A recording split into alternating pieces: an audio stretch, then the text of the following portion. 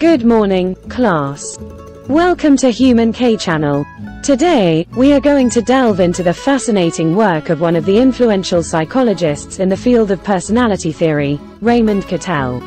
Born in Staffordshire, England, Cattell's journey into psychology was influenced by his experiences during World War I. Initially, he pursued physics and chemistry at the University of London, but his passion for understanding the human mind led him to shift his focus to psychology. Cattell collaborated with Charles E. Spearman and earned his PhD in 1929, after which he applied factor analysis to gain insights into the structure of personality. Despite facing various challenges throughout his career, Cattell remained unwavering in his dedication to the field, publishing an impressive body of work that included over 500 articles and 43 books. One of Cattell's significant contributions was his categorization of traits into common and unique traits, as well as the identification of surface and source traits. Surface traits, as he discovered, correlate with one another but are relatively less stable. On the other hand, source traits are unitary factors that underlie the surface traits.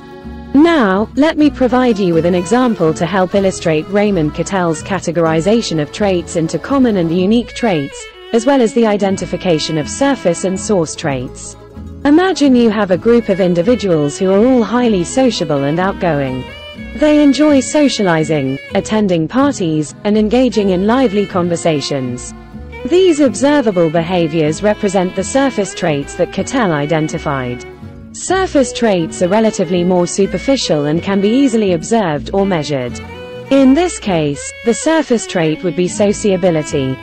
However, Cattell went further to explore the underlying factors that contribute to these surface traits. He identified source traits, which are the fundamental, unitary factors that influence and give rise to the surface traits.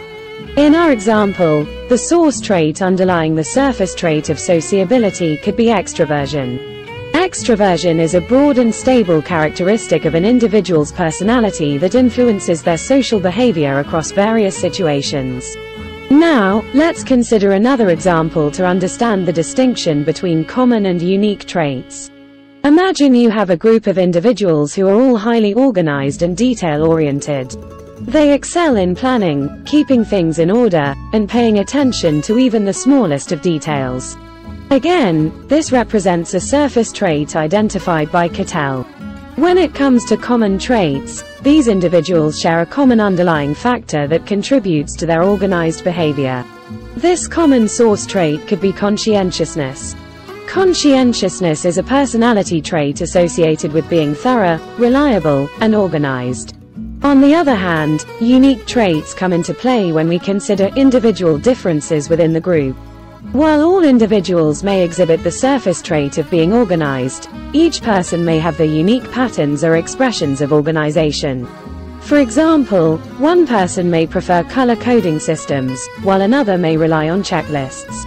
These unique expressions of the surface trait of organization highlight the individuality of each person.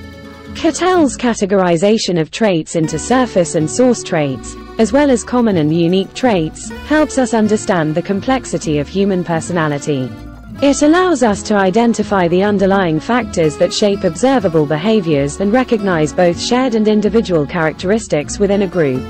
By studying these traits, researchers and psychologists gain valuable insights into personality development, individual differences, and how these traits relate to various aspects of human behavior. Cattell's groundbreaking research led him to identify 16 fundamental source traits, known as temperament traits. These traits serve as a crucial foundation for understanding personality. They manifest in everyday conversations and play a vital role in shaping an individual's unique disposition. Cattell's personality theory emphasizes dynamic traits, motivation, and the interplay between heredity and environment in the development of an individual's personality.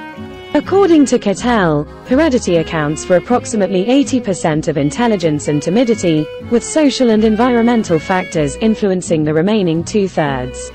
He proposed a comprehensive framework of personality development that spans an individual's entire life, highlighting infancy as a major formative period shaped by parental influence, sibling relationships, and early experiences.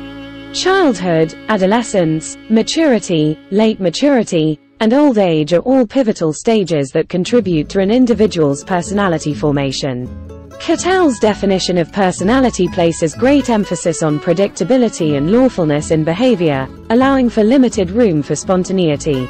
He advocates for determinism, acknowledging the influence of both nature and nurture on personality development. In his pursuit of understanding personality, Cattell also developed three primary assessment techniques, L-data, Q-data, and T-data. L-data involves observers rating specific behaviors in real-life settings, providing valuable insights into how individuals behave in their natural environments. Q-data, on the other hand, relies on questionnaires that individuals fill out to provide self-reported information. However, Cattell acknowledged the limitations of Q data, including superficial self-awareness and deliberate falsification. Perhaps Cattell's most well-known contribution in the realm of personality assessment is the 16PF test. This widely used tool measures 16 major source traits and has been translated into numerous languages. Its versatility extends beyond academia, finding applications in clinical diagnosis, relationship counseling, and workplace evaluations. Recent research has demonstrated the test's predictive power in assessing marital stability, shedding light on the compatibility and long-term prospects of romantic relationships. However, it is important to exercise caution when interpreting the results, as the test can be susceptible to deliberate falsification. Therefore, it is essential to consider other assessment techniques and corroborative evidence in clinical and research settings.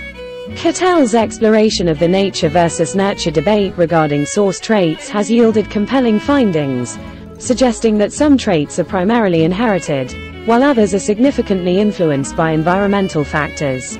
In conclusion, Raymond Cattell's work has laid a significant foundation for our understanding of personality theory. His research and theories have provided invaluable insights into the complexities of human behavior and the factors that shape individual personalities. As we continue our exploration of personality psychology, let us appreciate the contributions of scholars like Cattell who have expanded our knowledge in this fascinating field.